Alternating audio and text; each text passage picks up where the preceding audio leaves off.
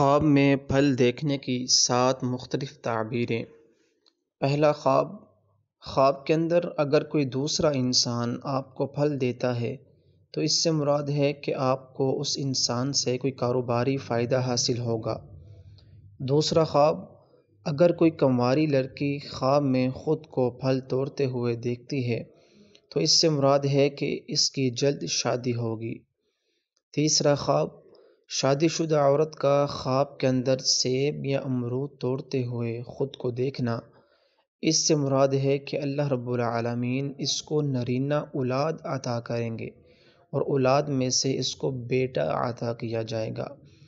چوتھا خواب خواب کے اندر صاف اور پقیزہ پھل کھانا، یہ رزق مال و دولت اور علم کے اندر اضافہ ہونے پر دلالت کرتا ہے۔ پانچواں خواب خواب کے اندر، خراب پھل کھانا، یہ مال و دولت کے اندر اور کاروبار کے اندر کسی حرام چیز کی آمیزش ہونا مراد ہے۔ چھٹا خواب خواب کے اندر خراب پھل کھانے کے بعد پتہ چلنا کہ یہ پھل خراب تھا۔